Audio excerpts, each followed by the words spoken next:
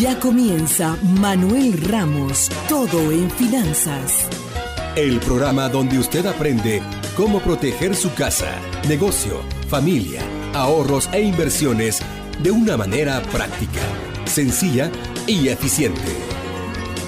Ahora con ustedes, su conductor.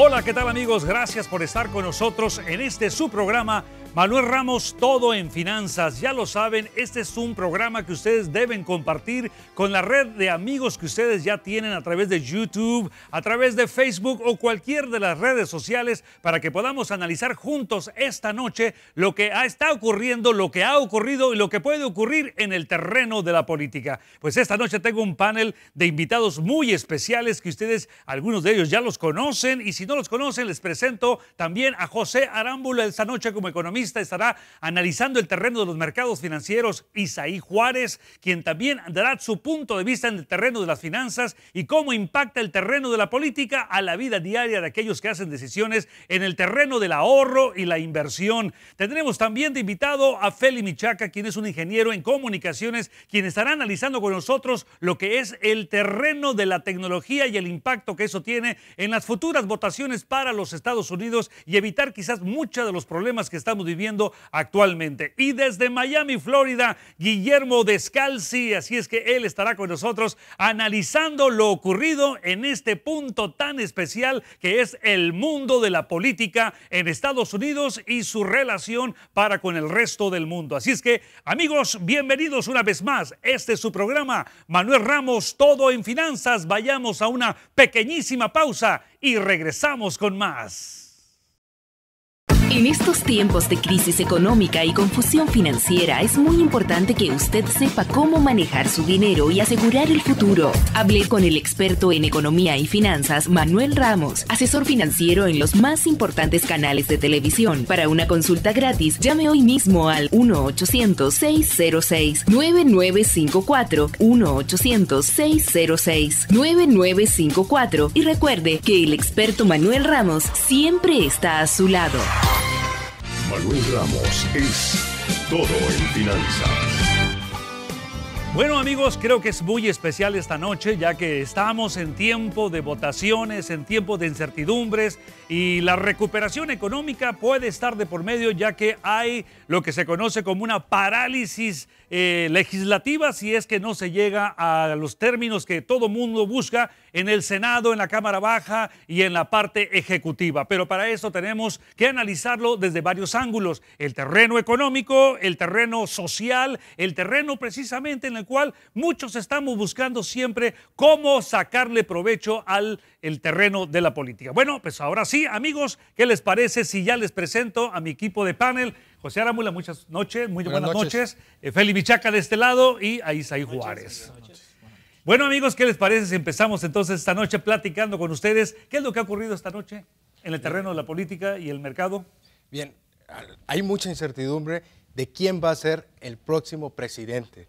Lo que ha sucedido en los mercados no es tanta incertidumbre, no están tan volátiles como muchos creían, que no entra el nerviosismo para todos los inversionistas y aquel que quiere invertir, todavía es momento, muy buen momento. El día de hoy cerraron con rachas positivas, digo rachas porque tenemos cuatro días consecutivos, desde el día lunes, no importa que venían las elecciones, hasta el martes han venido subiendo. Hemos tenido ya en promedio un 6% de subida. El día de hoy el Dow Jones cierra en positivo con 1. 1.95%. El, el, Standard Poor's 500, las 500 compañías más grandes de Estados Unidos, cierran con 1.95 y el Nasdaq, las tecnológicas, cierran con 2.59%. ya han visto... Lo que se ha recuperado es lo que habíamos tenido de contracción. La última semana La última semana. O sea, prácticamente se recuperó ese 6%, ¿no? Es lo, que lo, que están viendo es que no se vino la ola azul. Que en el Congreso no llegue una mayoría en la Cámara de Representantes demócrata. De esa manera habrá balance, que Isaí lo ha hablado bastantes veces, habrá balance y esto ayudaría a que si hay manera de que Biden fuera el ganador, que ya lo, ya lo acata el mercado, que fuera difícil de que subiera la tasa impositiva. ¿Qué te parece a ti esa parte, Isaí? Bueno, mi perspectiva es un poco distinta, aunque comparto mucho, mucho tus sentimientos. Eh, para mí el mercado está teniendo crecimiento porque ya llegamos cerca a una definición hacia dónde se dirige el país. ¿no? Eh, sea Biden, sea Trump, tenemos una idea de los tipos de pólizas que van a estar buscando. Eh, hablemos de la negociación del paquete fiscal de rescate, el paquete de estímulo, que sabemos que es necesario. Y obviamente el mercado se va a beneficiar sobre esa inyección de capital. ¿no? Ahora, ¿crees que se pueda dar ese paquete de estímulo con un Congreso o un Senado que estará, eh, no estará al 100% azul? Y tenemos la Cámara Baja que sí está en azul y tenemos pues ahorita todavía eh, no definido quién va a dirigir el país. Si se queda Trump o que continúa Biden, hay posibilidad de que Biden sea el presidente de los Estados Unidos. ¿Cuál es esa perspectiva? Bueno, recuerden que mi postura ha sido desde meses que empezamos esas pláticas que el balance será lo ideal en este tipo de elección. Estos resultados, sea Biden o Trump que gana la elección, nos da a entender que realmente el país está dividido y que por la mayoría de las personas son centristas moderadas, ¿no? Y a llegar a esta conclusión, que correctamente no es una ola azul, va a requerir una negociación de ambas partes políticas ah, para realmente llegar a un acuerdo de la cantidad que se le va a inyectar a la economía, cuánto se va a aportar a sistemas eh, estatales, locales, qué tipo de subsidios van a haber, y ahí es donde va a estar la, habilidad, si es Biden, a la negociación entre el, el Senado republicano. Entonces, ¿ves factible que el paquete de estímulo se dé? Independientemente de las condiciones de cómo esté estructurado el poder, tanto de la Cámara Baja hasta el Senado, y obviamente si Biden es el presidente en turno, que se pueda dar ese paquete de rescate que es necesario para poder salir avante de esta recesión económica que ha sido causada por el COVID-19. Bueno, hay que tomar en cuenta que aún sea... Eh, Trump o Biden que gane la elección, es, es muy probable que esta negociación se lleve a cabo antes de la eh, inauguración del presidente, y sea Trump o, Biden. O sea, quiere decir, aunque pierda Trump la elección, todavía puede ser el presidente que eh, llega al país a un acuerdo del paquete de estímulo. Y, salir victorioso en ese sentido. Así es, dejar un legado donde dijo, bueno, eh, no fui reelegido, pero como presidente llegó a un acuerdo con ambos partidos para realmente inyectar el capital que sabemos que es necesario. Ahora, amigos, ¿saben que lo que a mí me llama mucho la atención es la necesidad que tiene el sistema eh, de cómputo de estos votos, la tecnología, la ciencia, la innovación, la modernidad? Que a final de cuentas pues necesitamos también el pensamiento, el sentir de aquellos que se dedican en esta materia. Y bueno, tenemos de especialista dentro de nuestro equipo de trabajo a Feli Michaca, quien nos puede dar una idea de cómo la innovación puede darle mejores resultados a un sistema eh, democrático, un sistema participativo y en el cual, pues obviamente la tecnología tiene que ayudar a mejorar las situaciones que estamos viviendo el día de hoy. Dame tu punto de vista, Feli Michaca, por favor. Bueno, pues sabemos que hay nueva generación de votantes y esta nueva generación de votantes va a demandar una nueva generación de sistemas de tecnología para poder votar y hacer todo esto menos novela. Así es que definitivamente ¿eh? creo que en las próximas elecciones vamos a tener que tener algo ya más sólido y es más, me gustó la idea de que esta, eh, este gabinete firmó un contrato con Microsoft de 10 billones de dólares con la defensa, eh, mm. el Pentágono, para meterle a la infraestructura y poder tener así sistemas ah, confiables. Ahora, eh, estamos hablando de la infraestructura, pero también hablamos de hackeos, hablamos de, de, una guerra cibernética contra China, Rusia,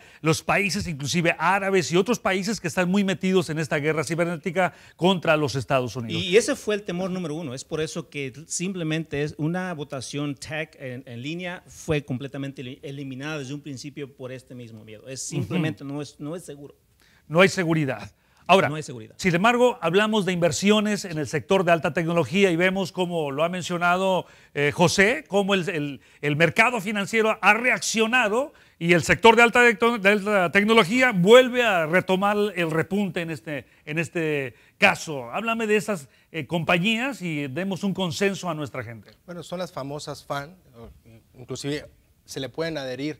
Eh, eh, otras compañías tales como Microsoft, pero son Facebook, Apple, Google, Netflix, que han estado repuntando desde el inicio de la pandemia. Inclusive ahorita que hablaba de que no se llegó la ola azul, también esto ayudaría de que en el balance en el Congreso, de que no hubiera medidas contra ellas porque tienen un control grandísimo en el mercado. Entonces, eso les, ayudaría bastante y bueno, el mercado lo mira, lo, lo apunta y el Nasdaq cierra los tres días anteriores, ha cerrado con 3% en promedio. Y, eso ha sido muy favorable también a los fondos de inversión, a los planes de pensión y tiene un impacto eh, para todos aquellos que están buscando lo que es el crecimiento de valor en el mundo de las inversiones. Hay una pregunta que se viene a, la, mente, Feli, eh, cuando le cuestionaban a, Mark eh, Zuckerberg con relación a cuántas personas visitan Facebook diariamente. Yo me quedé impresionado.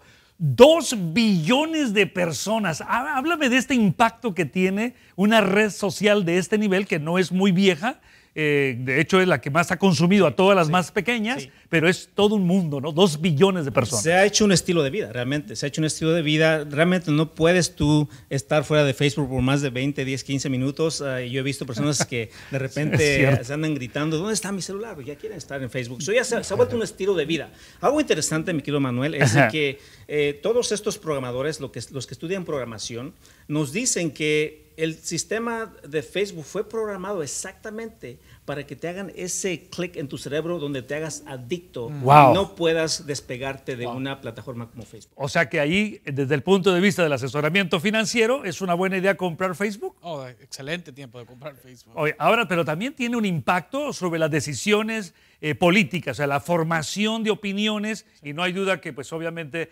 Facebook tiene ese impacto para las comunidades y los países en forma general. Amigos, vamos a una pausa comercial. Guillermo Descalzi ya está en línea, está con nosotros a través de este su programa, Manuel Ramos, todo en finanzas, haciendo un análisis de diferentes ángulos, el aspecto económico, el aspecto financiero, el aspecto tecnológico, pero ahora analicemos el aspecto político después de la pausa con Guillermo Descalzi. Regresamos. En estos tiempos de crisis económica y confusión financiera es muy importante que usted sepa cómo manejar su dinero y asegurar el futuro. Hablé con el experto en economía y finanzas, Manuel Ramos, asesor financiero en los más importantes canales de televisión. Para una consulta gratis, llame hoy mismo al 1-800-606-9954, 1-800-606-9954 y recuerde que el experto Manuel Ramos siempre está a su lado. Manuel Ramos es todo en finanzas. Pues el tablero, el tablero de las urnas deja entrever una realidad en los Estados Unidos. Esa realidad, amigos, es que es un país dividido y lo podemos ver en los conteos de los votos en varios de los estados con un 49.3% contra un 49.1%, 50 y 50% y esta división tiene sus eh, orígenes en el terreno precisamente de quién puede presidir una nación, eh, preside también inclusive eh, a lo que es el carácter y la personalidad de un país. Por esta razón hemos invitado a Guillermo Descalzi para que analicemos el terreno de la política, este punto directo que él tiene con tantos años de experiencia. Así que vamos a darle la bienvenida. Mi queridísimo Guillermo Descalzi, buenas noches. Muy buenas noches, ¿cómo estás? Bien, Guillermo, gracias por aceptar nuestra invitación de nuevo y ya sabes, analizar el día de hoy con este equipo de jóvenes a mi lado, los mileniales que traen una nueva tecnología, una nueva perspectiva política, social y económica y financiera. Creo que es importante que tanto tú como yo pues le pongamos atención a estos puntos de vista, pero también los jóvenes quieren aprender de tu experiencia, de mi experiencia y de la experiencia de nuestra gente que está conectada con nosotros a través de Manuel Ramos, todo en finanzas. Así es que entremos en el tema mi queridísimo Guillermo. Dame tu punto de vista en lo que estamos viviendo. Todo parece estar encaminado a que el día de mañana, mañana viernes, eh, el señor Biden logre los 270 votos electorales necesarios para convertirse en presidente electo. Ahora, hay dos realidades aquí. Esa es una realidad que todo el mundo más o menos que respeta porque está haciendo eh, conseguida de acuerdo a los patrones electorales de cada estado. Los estados están siguiendo minuciosamente eh, los eh, patrones electorales que les dicta la ley. Ahora, Guillermo. El otro, el, otro, el otro lado eh, viene por parte del presidente Trump. El presidente Trump se presentó a las 6 y 30 hora del este, aquí en, el, en, el, este, se presentó en la Casa Blanca a denunciar las elecciones como un fraude, fraude total. Y su hijo, eh, Don Trump Jr., tuiteó eh, pidiéndole a su padre que entre en guerra total. Debemos de entrar en una guerra total sobre esto de las elecciones. Ahora, eh, Guillermo, tengo una pregunta antes de continuar. Eh, hablas de fraude y me, me, gustaría que lo puedas explicar desde otro ángulo. ¿Desde dónde se origina el fraude? ¿Está realmente en estos votos que se hicieron por correo? ¿Está dentro del terreno del mismo Estado? ¿Dónde se origina este fraude para que Donald Trump pueda dirigirse a la nación y al mundo y decir que estas votaciones han sido un fraude? No tiene eh, prueba alguna. Eh, se origina de la mente eh, de Donald Trump, lo que está entre oreja y oreja. Ahí adentro está el fraude.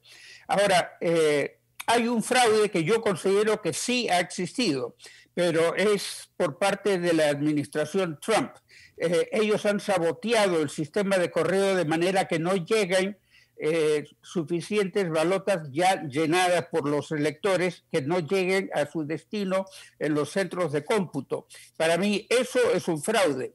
Eh, eh, y sin embargo, el Partido Demócrata no alza la voz sobre esto, se porta de manera muy decente. como ya te digo, está a la espera únicamente de que el día de mañana, casi con toda certeza, eh, se logren los 270 votos. Mira, digo casi con toda certeza porque en Georgia lo único que separa a Biden de Trump son 1.902 votos. Trump está adelante 1.902 votos y eh, Biden va subiendo de manera meteórica. Así es que se espera que el día de mañana a más tardar, Georgia le dé sus 20 votos electorales. En Pensilvania ocurre algo por el estilo. Se está eh, alzando rápidamente la pirámide de votos a favor de, Biden. Tenemos nosotros que, eh, que considerar, sin embargo, que el país se enfrenta a una verdadera crisis. Eh, una crisis de la democracia. Es la primera vez en la historia de este país que la Casa Blanca, que, que el gobierno se manifiesta en contra del sistema electoral del país. La primera vez. Ahora, Precisamente, mi, pregunta está relacionada a esta crisis que se ha desatado en los Estados Unidos, siendo nosotros el mundo de la democracia, el mundo de las libertades, eh, y se ve que hay una supresión de la misma, y al, y al, mismo tiempo pues vemos que esta democracia se ve afectada por un sistema que no es claro y que además vemos como un presidente, en este caso Donald Trump, y vemos que toda una campaña se pone en contra de lo que es la democracia y las libertades que tenemos todos los individuos y los derechos que tenemos para efecto de dar nuestro sufragio. Guillermo, ¿te parece si ahora lo analizamos con los muchachos aquí en, en esta mesa de discusión y vamos a, a platicar con ellos para que nos den también su punto de vista sobre lo que está ocurriendo en el terreno de la política y lo que pasa en esos estados que están en disputa, José, y que además Trump dice que va y está demandando, de hecho, ya por adelantado. Sí, siguiendo la línea de Descalzi, bueno, Trump es el presidente.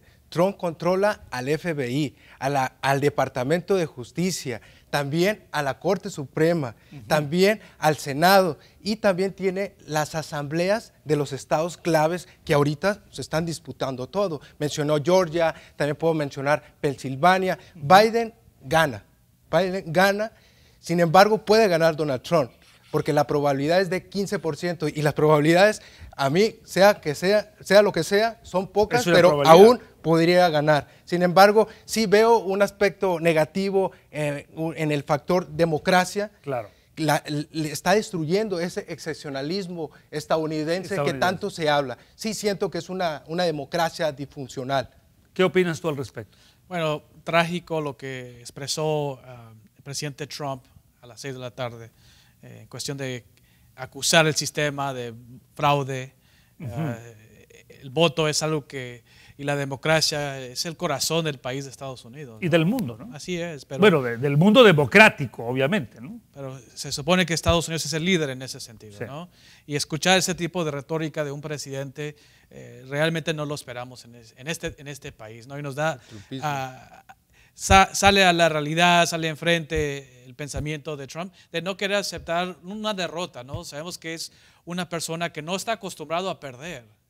Y bueno, mi, espera, mi expectativa es, es que, ojalá él llegue a un punto donde reconoce los resultados y hace lo mejor para el país los próximos tres meses. Ahora, Guillermo habló de una crisis. Una crisis que se va a reflejar en lo social, en lo económico, en lo financiero, una crisis inclusive para las personas de la, de la tercera edad o de la última edad. La realidad es que hay una crisis, ¿no? ¿Cómo se puede confrontar eh, en un sistema que está dividido, está quebrantado, eh, donde no hay una definición del carácter y, de, como dice José, no se ha perdido esa, e, esa parte excepcional de los Estados Unidos. no dejo ser optimista en el sentido de donde creo en el pueblo americano, no hablemos de los líderes en, este, en esta instancia, pero realmente el interés de nosotros de decir, ¿sabe qué? Después de este proceso tan... Emocional, nos ha quitado mucha energía. Ya es tiempo de unirnos, de llegar a un acuerdo. Sabemos que para realmente resolver el problema de la economía, de la pandemia, tiene que haber una, una negociación entre ambas partes políticas. Yo en ese aspecto quisiera mencionar sobre la irracionalidad del voto. Donald Trump inteligentemente sabe eso y por eso no ha dejado de ser él porque sabe que su base votaría por él. Son irracionales. Ellos pues son fieles, ojo, eh, son fieles. Pero muy emocionales. Eso y, es cierto. Y le pega a las emociones. Eso es clave y eso es lo que tiene vivo al trumpismo. Bueno, y eso es lo que hacen los políticos, ¿no? Los políticos siempre están apegando a los sentimientos del votante, a la irracionalidad del votante, por no decir también la parte de la ignorancia, la falta de información del votante, ¿no? Ahora, ¿cómo puede ayudar eh, el terreno de la modernidad, la innovación, la tecnología para estar mejor mejores informados en futuras votaciones? Porque esto pues obviamente no va a terminar, ¿no? Sí, sí, sí. Ah, bueno, como sabemos, eh, estos, los, últimos tres, uh, seis meses, perdón, de, después de la pandemia, sabemos que el mundo digital totalmente tomó control. Entonces, creo que eh, a la misma vez podemos confiar en lo digital, pero siempre tener cuidado en el uso de la seguridad.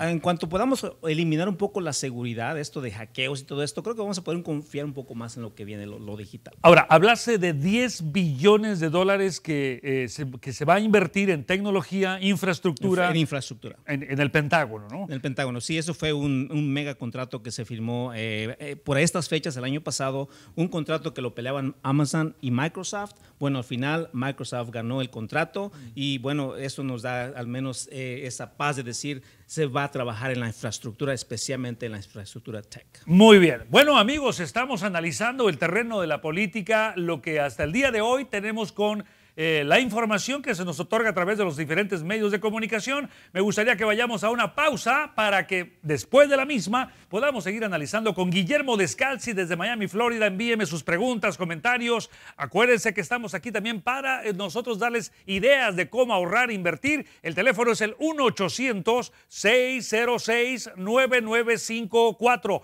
1-800-606-9954. Y regresamos. En estos tiempos de crisis económica y confusión financiera es muy importante que usted sepa cómo manejar su dinero y asegurar el futuro. Hablé con el experto en economía y finanzas, Manuel Ramos, asesor financiero en los más importantes canales de televisión. Para una consulta gratis, llame hoy mismo al 1-800-606-9954, 1-800-606-9954 y recuerde que el experto Manuel Ramos siempre está a su lado. Manuel Ramos es todo en finanzas.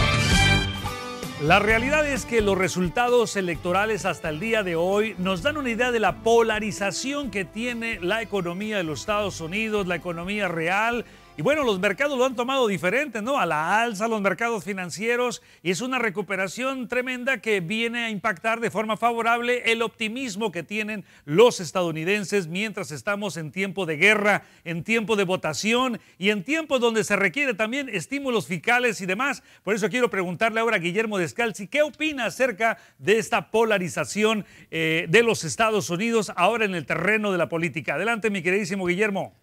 Bueno, en el terreno de la política, lo que se espera actualmente es una intervención en la Casa Blanca, mm. que intervengan los líderes políticos del Partido Republicano en la Cámara y en el Senado, que vayan y le hablen al presidente y le digan, hasta aquí llegó, nosotros no vamos a cooperar con esta realidad alternativa que nos está presentando el presidente Trump de que hay fraude, que esto es un fraude y que debemos de hacer guerra total. Guerra total es lo que dice su hijo en tweets. Eh, guerra total contra estas elecciones. Óyeme, es la primera vez en la vida que ocurre esto, así es que se espera una intervención de los líderes republicanos del Congreso. Aparte de esto, la única otra posibilidad es que se resuelva esto en las Cortes de Justicia, que vaya Trump realmente a llevar el caso primero a las Cortes de primera instancia, luego que apele a las Cortes de segunda instancia y finalmente que llegue a la Corte Suprema, porque hay que seguir la escala. Eh, sin embargo, la Corte de Justicia tiene que presentar pruebas y no hay pruebas. La única prueba que hay es la imaginación de Trump, no hay prueba concreta. Si el Partido Demócrata quisiera, podría presentar pruebas de obstrucción por parte de la Casa Blanca, obstrucción en el sistema de correos y obstrucción mucho antes de eso con el presidente Trump denunciando el voto por correo que es necesario en esta situación de una pandemia del COVID. Ahora, Guillermo, eh, ah, te quiero preguntar algo. Hablaste de pruebas y hablemos de la prueba de los hispanos en el terreno de dar el sufragio. ¿Cuál ha sido el, resultado que, puedes darnos el día de hoy sobre la participación hispana en, estas, en esta contienda hacia la presidencia de los Estados Unidos? Mira, eh, no es una participación eh, monolítica. E incluso en la costa oeste, donde el, el, hispano es más que nada centroamericano y sudamericano, ahí también hay división. Hay muchos que se van por Trump. Eh, ¿Por qué? Eh, no lo sé, eh, pero se van por Trump. aquí en la Florida, donde yo estoy, el voto hispano se ha ido con Trump mayoritariamente, pero lo hace por una cosa muy especial. en la Florida el voto es más que nada cubano y venezolano. Y Trump los ha estado cortejando diciéndole que los demócratas son comunistas. Mm.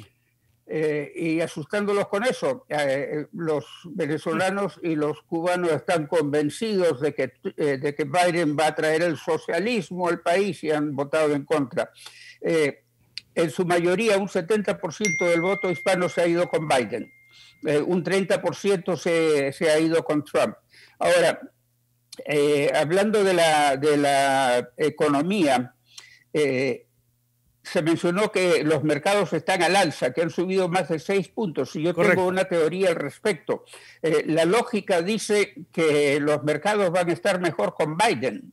Eh, ¿Por qué? Eh, Trump es causante de la gran inflación que hay en el país en estos momentos por todas sus políticas de reducción de impuestos, de tarifas a las importaciones, de la guerra económica con la China y con otros lugares. Todo esto está creando un caos económico tremendo. Y además el aislamiento de los Estados Unidos lleva a una complicación en los mercados mundiales que se han estado yendo para abajo. Eh, la idea de que venga un Biden, por eh, curioso que parezca, por más que vaya a subir los impuestos de la clase rica, porque dice que no va a subir impuestos de nadie que gane menos de 400 mil dólares, por más que, esto ocurra, eh, se piensa que Biden va a dar una estabilidad y una normalidad al mercado. Esa es la razón por la cual está yéndose la bolsa para arriba. Ahora, Guillermo, hay algo que quiero que me comentes después de una pausa comercial y eso tiene que ver con los fraudes personales del presidente Trump, que yo lo veo muy nervioso porque si él no se reelige, algo puede ocurrir y yo sé que tú tienes tu opinión al respecto. Bueno amigos, quiero comentarles de que toda esta información y este esta data que les estamos otorgando a ustedes la pueden revisar a través de YouTube, en Ramos Economía, a través de Facebook. Y no se les olvide que los sábados de 8 a 10 de la mañana también estamos en Univisión Radio 1020 AM desde Los Ángeles, California, hablando sobre economía, finanzas, política y mucho más. Así es que de 8 a 10 de la mañana, cara a cara con las finanzas. Amigos, vamos a una pausa. Envíenme sus preguntas y comentarios aquí en Ramos Economía. Regresamos. En estos tiempos de crisis económica y confusión financiera es muy importante que usted sepa cómo manejar su dinero y asegurar el futuro. Hablé con el experto en economía y finanzas, Manuel Ramos, asesor financiero en los más importantes canales de televisión. Para una consulta gratis, llame hoy mismo al 1-800-606-9954, 1-800-606-9954 y recuerde que el experto Manuel Ramos siempre está a su lado. Manuel Ramos es todo en finanzas. Bueno, y ahora sí vamos a revisar también los mensajes que ustedes nos envían a través de Ramos Economía. Muchísimas gracias, José Arámbula. Está listo y dispuesto para darle lectura a esos mensajes, a esas preguntas que ustedes tienen sobre los mercados financieros. Aprovechemos a Feli Michaca, que está aquí con nosotros, para que también él les dé una idea sobre el terreno de la tecnología y las comunicaciones, pero que una pregunta al aire que Descalzi nos va a dar una idea de lo que puede ocurrir si Trump no se reelige, hablando precisamente, Guillermo, de fraudes. Háblame de esto, Guille. Bueno, los fraudes del señor Trump. Nosotros sabemos que el señor Trump es deshonesto, que el señor Trump es mentiroso y sabemos también que el señor Trump se aprovecha de las dificultades económicas de los demás y trampea para decirlo de manera suave, hace trampa a los bancos. Esto ha llevado a que hagan juicio por fraude contra Trump. Hay juicios abiertos contra Trump en varios lugares que él no puede evitar. Eh, la Corte Distrital de Nueva York, que es independiente del gobierno federal, tiene juicio con Trump por haber eh, engañado, eh, defraudado al fisco por haber subestimado los valores de sus propiedades para obtener préstamos bancarios y haberlos subestimado para razones de impuestos. Trump se muere de miedo. Eh, si, ustedes lo vieron el día de hoy en su alocución en la Casa Blanca a las 6 y 30, era un hombre de capa caída. Estaba, Así es. Sí, estaba con la carita para abajo. Eh, daría pena eh, si es que el hombre fuera un poco más humilde, pero la arrogancia con la que se presenta a decir que se va a oponer a esta elección de todas maneras y como dice su hijo, con guerra total contra estas elecciones, es difícil tenerle lástima. Ahora, Guillermo, ¿qué es lo que puede ocurrir? Porque sabemos que estando como presidente, eh, sus mismos abogados han dicho que tiene una protección y no se pueden llevar a cabo esos juicios. Y no siendo presidente, la, pregunta es, tiene miedo. ¿Puede llegarse a un juicio y tener algún tipo de consecuencias judiciales? Es, la razón por la que tiene miedo. Eh, la única, el único motivo por el cual eh, no, está eh, no es enjuiciado en la actualidad es porque tiene la inmunidad presidencial. En el momento en que deje la presidencia, el día 21 de enero, cuando haya el cambio, el traspaso, que lo va a haber, eh, en ese instante pierde su inmunidad y todos los juicios que están abiertos contra él le caen como tonelada de ladrillos encima. Ahora, eh, mientras tanto, él se protege de diversas maneras. ¿eh? no solamente está acusando a los demócratas de fraude y acusa esta elección de ser fraudulenta, el secretario de Justicia, William Barr, también anunció en memorándum a los distintos procuradores de justicia de los estados que él, que él sí puede, que él está dispuesto a enviar guardias armados a los lugares de, eh, de recuento de votación para que vigilen que la cosa se haga correctamente la ley prohíbe que se tenga personal armado en los centros de votación el día de la elección. Barr dice que eso fue para el día de la elección, pero ya pasó la elección y eso no vale para el recuento. Así que imagínate tú que el hmm. gobierno federal ponga guardias armados en los centros de cómputo para hacer cumplir su voluntad. Y esto, Guillermo, ya me huele más a México, Centro, Sudamérica ya estamos eh, entrando en ese terreno de lo que es el populismo del siglo XXI, ¿verdad? Y en la cual, pues obviamente no estamos dando una buena cara hacia el mundo de esta democracia que surge y que nace desde los Estados Unidos para el resto del mundo. Bueno, Guillermo, ¿te parece si leemos también los mensajes de nuestros amigos en las redes sociales? Hay preguntas, hay comentarios. Muchísimas gracias por enviárnoslos con antelación. Y está aquí Isaí Juárez, tenemos a Feli Michaca, tenemos a Guillermo Descalzi desde Miami, Florida, y José Arámbula aquí en los estudios leyendo también esos mensajes, pero a la vez les vamos a dar a ustedes un consejo al cierre de este programa. Adelante, mi queridísimo José. Ok, adelante tenemos a Rafael Arce, saludos Manuel Ramos, aquí estamos escuchando. Tenemos también a Blanca Díaz. ¿De qué manera puede afectar significativamente la elección de Biden en, el aspecto social? Le pregunta a Descalzi. Descalzi, ¿escuchaste la pregunta?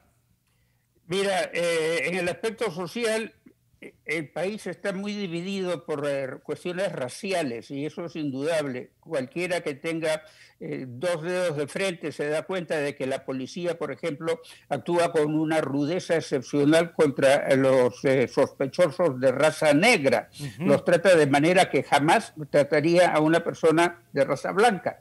es de esperar que con una administración Biden se preste más atención a lo que quiere decir una reforma, una reforma policial, que ponga nuevos límites a su acción y que eh, obligue realmente a los policías a tener prendidas esas camaritas que llevan eh, en el hombro. Eh, generalmente las, muchas veces las apagan cuando van a entrar a una intervención y luego dicen, oh, se apagó eh, no es que, oh, se apagó, las apagan para que no haya prueba. Claro, claro. Eh, Déjame preguntarle aquí a mi panel, Guillermo, si me lo permites, eh, la opinión que tiene precisamente Isaí Juárez en el aspecto social. Es una muy buena pregunta que nos han hecho. Adelante. Bueno, sabemos que el presidente dirige el carácter del país y el trabajo de él va a ser buscar cómo unir el pueblo, ¿no? Si es que es Biden, ah, en cuestión de escuchar a ambos lados, eh, sus preocupaciones sociales y realmente tratar de decir no, no más división por partido republicano, demócrata. Sabemos que ambas voces se tienen que escuchar porque esta ocasión eh, llegamos a nivel de votos históricos. O sea, eh, hasta ahorita presidente Biden ha adquirido más votos que hasta presidente Obama en el 2008. Y es posible que Donald Trump también llegue a ese nivel. Entonces no podemos ignorar las necesidades y inquietudes de varias Claro, y, y, por eso la gente vamos a votar porque hay necesidades. Cuando hay necesidades, vamos a dos lugares. Vamos al terreno de la política, búsqueda de políticas públicas y al mismo tiempo pues vamos al mercado. Dame tu opinión acerca de la socialdemocracia que puede arrancarse con, con Biden como presidente. Claro, bueno, él tiene una agenda demócrata, social, que nos puede dar un, una legalización, por ejemplo, de la marihuana, que se, fue un éxito en estos días, también se votó, hay varios estados, no tengo las cifras exactas, que se, legalizaron. También podríamos hablar del matrimonio gay, o sea, no le dice no, no opta por tomar el control de las decisiones individuales. Ah las libertades. Las ¿eh? libertades, eso es un aspecto que podríamos ver más en Biden que en una administración de Donald Trump. Bueno, si, hablamos de nuestro pueblo, ojalá esto llegue a avanzar un poco eh, la negociación de un acuerdo migratorio. Eso sería algo que nos beneficiaríamos nosotros, ¿no? De, sabemos que hay millones de personas que reciben DACA o que están indocumentados y ojalá eh, sea un avance en ese lado, en la parte social. Bueno, ya sabemos que las promesas siempre están allí y esas promesas, si se llegan a cumplir, pues van a tener un resultado favorable. Desde, desde el terreno de la tecnología, ¿tú ves alguna gran ventaja aparte de esos 10 billones de dólares que se están invirtiendo uh, a través de Microsoft en infraestructura para la nación? La protección. ¿Cómo lo ves en el terreno social? Bueno, creo que definitivamente esta situación va a empujar a la próxima administración a enfocarnos más en la infraestructura. Bueno, obviamente. acuérdate que, que, eh, el caso de Barack Obama no fue de los primeros en, en Twitter que, que ganó una elección apoyado por una infraestructura de este nivel, ¿no? Sí, sí, y es por eso que yo sigo creyendo de que definitivamente Tech va a venir a salvar el día en las próximas elecciones, pero no podemos esperarnos hasta entonces. Esto toma tiempo, eh, eh, hay que hacer pruebas de los sistemas, hay que estar seguros que están asegurados, que tiene toda esa eficiencia, que todo un- tiene un backup, ¿verdad? Y pues es importante poder probar todo eso. Claro, y en este contexto que estamos viviendo ahora, ¿no? Que ahora se alarga las ele- las- el, el conteo Sí. por el hecho de que no hay manera de contabilizarlo de No, una pues- manera rápida. No, pues estamos como en Eso aquellos años, ¿no? sí, sí. Voto por voto, casilla por casilla. Casi, porque así- y un vigilante que fuera realmente a meter claro. el voto. Pero, pero una vez más, perdón, Sí. una vez más, el- la falla de no poner atención a esto de la infraestructura Correcto. antes de una elección de ese tamaño. De este nivel. Muy O sea, bien. Sí, señor. hablas de la eficiencia, pero al mismo tiempo tomando en cuenta la seguridad del voto. ¿no? Exacto. Sí, bueno, se tiene que buscar la seguridad del voto, que ya lo estamos analizando con Guillermo, que es uno de los aspectos donde, pues obviamente, se ha fallado y se dice que es un fraude por diferentes cosas o diferentes motivos. Preguntas, comentarios. Tengo, a ver, vamos viendo. Sí. Tengo a Pablo Rodríguez. Nos pregunta, ¿es buen momento para invertir en este momento? Adelante, señor. Sabemos que ya hay mayor claridad muy, muy pronto cuando se defina quién gana esta presidencia. Vamos a saber qué tipo de pólizas monetarias, fiscales eh, va a buscar el presidente, obviamente, y hablamos sobre con colaboración de ambos partidos, ¿no? Y por otro lado, nos acercamos más a un acuerdo eventual de un paquete de estímulo. Puede demorar tiempo, por eso la importancia es la disciplina, la paciencia, realmente tener un portafolio diversificado en diferentes sectores de la economía y ah, obviamente eventualmente ver esos resultados que buscamos. ¿no? Bueno, ah, déjeme preguntarle algo a Guillermo. Eh, Guillermo, lo que ocurre en, en el terreno de, del Senado, la Cámara Baja, y obviamente eh, vamos a imaginar que ya es Biden el presidente, y este famoso gridlock, ¿no? Tenemos una parálisis para que se pueda llevar a cabo varios proyectos que son necesarios para sacar a la economía adelante. Eh, dame tu opinión de lo que pudiese ser una, una perspectiva. Se habla mucho y el día de hoy los medios lo dieron a conocer que la Reserva Federal, que es el prestamista de última instancia, saldría precisamente a ayudar a los mercados y a la economía si es que no se llegan a acuerdos dentro del terreno de la política. Te escucho, Guillermo. Es posible que el gridlock se acabe eh, si es que eh, los demócratas logran obtener la mayoría en el Senado. Se había dicho que no, que no la iban a obtener, pero a medida que pasan los días se va uno dando cuenta de que eh, existen grandes posibilidades, probabilidades incluso, de que los demócratas lleguen a controlar el Senado. Eh, en la actualidad van 48 demócratas y 48 republicanos. Están exactamente medidas las fuerzas, hay balance.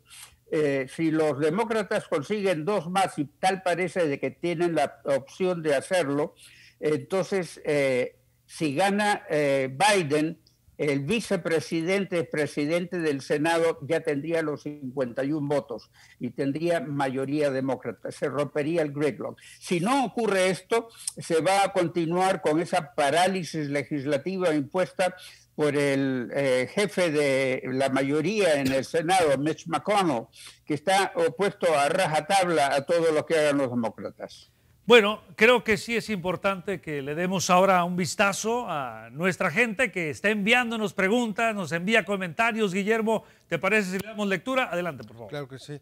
Tengo a Ed Islas y le- me gustaría contestarle y también su comentario, Adelante, Manuel.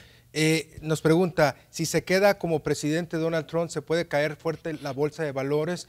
Bien, el mercado ya descontó, está contento, lo vemos en los números, de que Biden eh, eh, gana. Y por lo mismo está contenta. Sin embargo, con Donald Trump, si ganara, no cayera. Todo lo contrario. Inclusive el anuncio de JP Morgan hace una semana nos dice que subiría un 16.2%. Ese es el cálculo que hacen ellos, que quebraría la resistencia de los 3.900 puntos.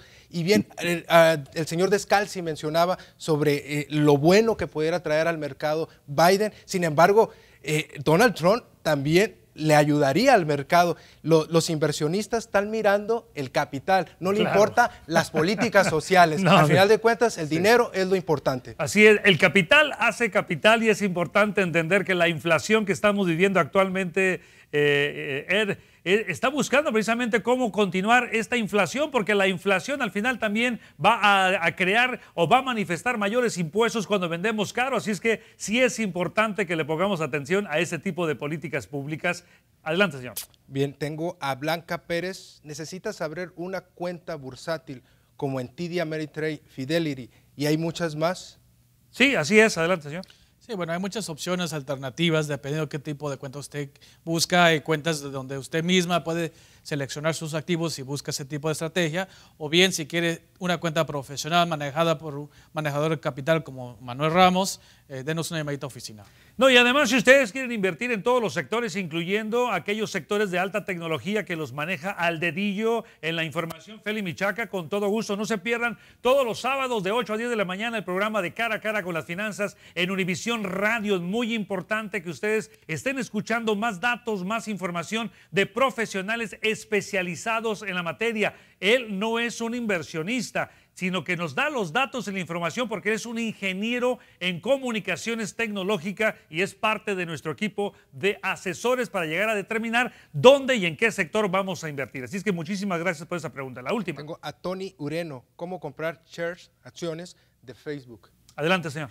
Bueno, si, eh, regreso al punto, si es una cuenta de manejamiento, coordinando con nuestro asesor financiero, podemos comprar esos tipos de posiciones. Bueno, amigos, hay muchas preguntas que ustedes nos están haciendo, pero quiero despedirme de Guillermo Descalzi. Guillermo, muchísimas gracias. Gracias a ti por darme la oportunidad de dirigirme a tu público. Al contrario, Guillermo, ya sabes, el sábado estamos conectados cara a cara con las finanzas desde Miami, Florida. Muchísimas gracias. Muy bien. Un placer. Bueno, y aquí el consejo final, mi queridísimo José. Bien, más que consejo, bueno, esperaremos los resultados. Eh, parece ser que gana Biden, eh, la cifra nos lo dice. no es un consejo. Pero también.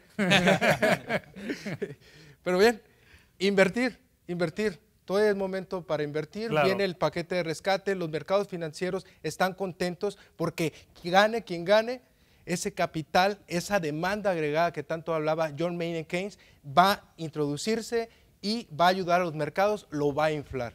Ahí está. Adelante, señor. Tiempo de unirnos como país, gane Biden, gane Trump, vienen mejores días por adelante, tenemos expectativas positivas del mercado financiero, de la economía, del control de esta pandemia. Buenos días por adelante. Adelante, señor, su recomendación creo que es importante no dejar que nuestra luz se apague, ¿verdad? Estamos en esa situación, no podemos hacer nada más que esperar, pero lo más importante es, todavía hay que producir, hay que ser productivos todavía. Tenemos posición, tenemos posición, tenemos nuestro trabajo, nuestra profesión y pues tenemos que ser productivos. Cuando, Eso va a ayudar. Cuando Feli me dice que no se apague la luz, yo me quedo admirado porque lo observo a él y le digo, que no se me apague la luz, por favor. Muchísimas gracias amigos, ya lo saben. Acuérdense de marcar su clic en YouTube, Ramos Economía, en Facebook. Y acuérdense también de que los sábados de 8 a 10 de la mañana, cara a cara con las finanzas. Mi recomendación es la siguiente, amigos. Hay una rotación de activos en los mercados financieros y esta rotación de activos hay que sacarle provecho. Es decir, las inversiones de crecimiento se vendieron en un, en un lapso de tiempo, están entrando ahora comprándose valor y las inversiones de valor pagan dividendos y los dividendos muchos de ustedes los reciben mensualmente a través de nuestros modelos de inversión. Muchísimas gracias por esa confianza. Hay que ser pacientes en el mundo de las inversiones y les voy a decir una cita bíblica que dice lo siguiente, aquel que es fiel en lo poco, en lo mucho se lo pondrá. Hasta la próxima. Así concluye Manuel Ramos, Todo en Finanzas, el programa creado para enseñar sobre economía y finanzas a la comunidad hispana de los Estados Unidos.